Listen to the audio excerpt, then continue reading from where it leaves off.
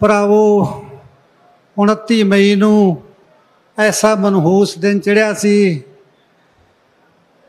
ਜਿਸ ਦੇ ਅਨੁਸਾਰ ਇਹ ਭਾਣਾ ਵਰਤ ਗਿਆ। ਪਰ ਤੁਹਾਡੇ ਪਿਆਰ ਨੇ, ਤੁਹਾਡੇ ਵੱਲੋਂ ਜੋ ਹੰਝੂ ਬਹਾਏ ਨੇ ਉਸ ਨੇ ਮੇਰਾ ਦੁੱਖ ਕਾਫੀ ਹੱਦ ਤੱਕ ਘਟ ਕੀਤਾ। ਇਹ ਘਾਟਾ ਇਹ ਘਾਟਾ ਜੇ ਮੈਂ ਤੁਹਾਨੂੰ ਕਹਾਂ ਵੀ ਮੈਂ ਆਸਾਨੀ ਨਾਲ ਪੂਰਾ ਕਰ ਲਵਾਂਗਾ ਜਾਂ ਸਹਿਣ ਕਰ ਲਵਾਂਗਾ ਤਾਂ ਇਹ ਸਭ ਕਹਿਣ ਦੀਆਂ ਗੱਲਾਂ ਤਾਂ ਹੋ ਸਕਦੀਆਂ ਹੈ ਪਰ ਇਸ ਨੂੰ ਮੇਰਾ ਪਰਿਵਾਰ ਹੀ ਸਮਝ ਸਕਦਾ ਹੈ ਅੱਜ ਅਸੀਂ ਕਿੱਥੋਂ ਤੇ ਕਿੱਥੇ ਪਹੁੰਚ ਚੁੱਕੇ ਹਾਂ ਗੁਰੂ ਸਾਹਿਬ ਦੇ ਹੁਕਮ ਨੇ ਗੁਰਬਾਣੀ ਸਾਨੂੰ ਦੱਸਦੀ ਹੈ ਇੱਕ ਉਹੀ ਰਸਤਾ ਬਚਿਆ ਗੁਰੂ ਸਾਹਿਬ ਤੋਂ ਸੇਧ ਲੈ ਕੇ, ਦਸ਼ਮੇਸ਼ ਪਿਤਾ ਤੋਂ ਸੇਧ ਲੈ ਕੇ ਕੋਸ਼ਿਸ਼ ਕਰੂੰਗਾ ਅਗਲੀ ਜ਼ਿੰਦਗੀ ਨੂੰ ਰੋੜਨ ਦੀ, ਅਗਲੀ ਜ਼ਿੰਦਗੀ ਨੂੰ ਸ਼ੁਰੂ ਕਰਨ ਦੀ। ਸੱਚੇ ਪਾਤਸ਼ਾਹ ਗੁਰੂ ਸਾਹਿਬ ਤਾਂ ਸ਼ਕਤੀਆਂ ਦੇ ਮਾਲਕ ਸੀ। ਸੰਤ ਸਿਪਾਹੀ ਸੀ। ਗੁਰੂ ਸੀ। ਉਹ ਤਾਂ ਇੰਨੀ ਚੱਲ ਗਏ, ਪਰ ਮੈਂ ਇੰਨੀ ਜੋਗਾ ਦੁਨਿਆਵੀ ਨਹੀਂ ਸੀ। ਪਰ ਮਹਾਰਾਜ, ਫਿਰ ਵੀ ਤੁਹਾਡਾ ਹੁਕਮ ਸਿਰ ਮੱਥੇ ਹੈ। ਜ਼ਿੰਦਗੀ ਨੂੰ ਹਰ ਹਾਲਤ ਵਿੱਚ ਚਲਦੀ ਰੱਖਾਂਗਾ। ਇਹ ਤੁਹਾਡੇ ਨਾਲ ਵਾਅਦਾ ਕਰਨਾ। ਜਿੱਥੋਂ ਤੱਕ ਸ਼ੁਭਦੀਪ ਦਾ ਸਵਾਲ ਹੈ ਉਹ ਇੱਕ ਬੜਾ ਸਾ- ਸਿੱਧਾ ਸਾਦਾ ਨੌਜਵਾਨ ਜਿਵੇਂ ਆਮ ਪਿੰਡ ਜੱਟਾਂ ਦੇ ਜਵਾਕ ਹੁੰਦੇ ਆ, ਇਸ ਤਰ੍ਹਾਂ ਦਾ ਉਹਦਾ ਜੀਵਨ ਸੀ ਭਰਾਵੋ।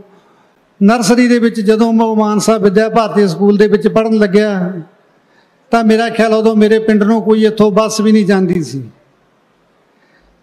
ਉਹਨਾਂ ਸਮਿਆਂ ਦੇ ਵਿੱਚ ਸਾਧਨਾਂ ਦੀ ਬੜੀ ਘਾਟ ਸੀ, ਪਰ ਫਿਰ ਵੀ ਕਦੇ ਬੱਸਾਂ ਦੇ ਉੱਤੇ, ਕਦੇ ਆਪਣੇ ਸਕੂਟਰ ਤੇ ਛੱਡ ਕੇ ਕਦੇ 2.5 ਸਾਲ ਦਾ ਸੀ 3 ਸਾਲ ਦਾ ਜੋ ਸੈਕੰਡ ਕਲਾਸ ਦੇ ਵਿੱਚ ਪੜ੍ਹਦਾ ਸੀ।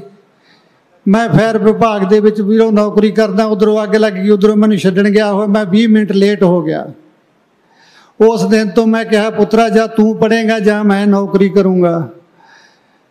ਅਸੀਂ ਛੋਟਾ ਜਿਹਾ ਸਾਈਕਲ ਲੈਤਾ। ਤੁਸੀਂ ਯਕੀਨ ਕਰਿਓ ਸੈਕੰਡ ਕਲਾਸ ਤੋਂ ਸਾਈਕਲ ਤੇ ਜਾਣਾ ਸ਼ੁਰੂ ਕੀਤਾ। ਬੱਚੇ ਨੇ ਪਲੱਸ 2 ਤੱਕ ਸਾਈਕਲ ਚਲਾਇਆ। Daily 24 kilometre. ਸਕੂਲ ਜਾਣਾ, ਫਿਰ 24 ਕਿਲੋਮੀਟਰ। ਟਿਊਸ਼ਨ ਤੇ ਜਾਣਾ। ਇਸ ਬੱਚੇ ਦਾ ਕਣ ਕਣ ਮਿਹਨਤ ਦੇ ਨਾਲ ਭਰਿਆ ਪਿਆ ਹੈ।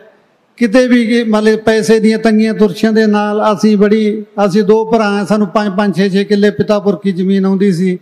ਕੋਈ ਪੈਸੇ ਦੀ ਵੀ, ਕੋਈ ਆਪਾਂ ਕਹਿ ਦਈਏ ਵੀ ਜ਼ਿਆਦਾ ਅਮੀਰਾਂ ਵਾਲੀ ਗੱਲ ਨਹੀਂ ਸੀ ਵੀਰੋ ਖਿੱਚਤਾ ਤੂੰ ਕਰਕੇ ਆਪਣਾ ਟਾਈਮ ਪਾਸ ਕੀਤਾ ਸੀ। ਇਹਨਾਂ ਹਾਲਾਤਾਂ ਚੋਂ ਮੈਂ ਬੱਚੇ ਨੂੰ ਇੱਥੋਂ ਤੱਕ ਲੈ ਕੇ ਆਇਆ। ਕਦੇ ਜੇਬ ਖਰਚ ਵੀ ਇਸ ਬੱਚੇ ਨੂੰ ਪੂਰਾ ਨਹੀਂ ਮਿਲਿਆ ਸੀ, ਪਰ ਇਹਨੇ ਆਪਣੀ ਮਿਹਨਤ, ਸਦਕਾ ਪਲੱਸ 2 ਕੀਤੀ ਨਾਨ ਮੈਡੀਕਲ ਦੇ ਨਾਲ। ਉਸ ਤੋਂ ਬਾਅਦ ਗ੍ਰੈਜੂਏਸ਼ਨ ਕਰਨ ਵਾਸਤੇ ਲੁਧਿਆਣਾ ਜੀ- ਗੁਰੂ ਨਾਨਕ ਇੰਜੀਨੀਅਰਿੰਗ ਕਾਲਜ ਚਲਾ ਗਿਆ, ਉਪਰੰਤ ਆਈਲੈਂਡਸ ਕਰਕੇ ਬਾਹਰ ਚਲਾ ਗਿਆ।